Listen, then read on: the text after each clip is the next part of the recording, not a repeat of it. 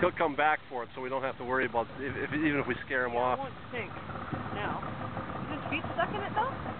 No, It might be. it is. Yeah, it's a heron. I wonder if it was dead in the river and you just pick it up. Or did he kill it? Oh, he probably killed it.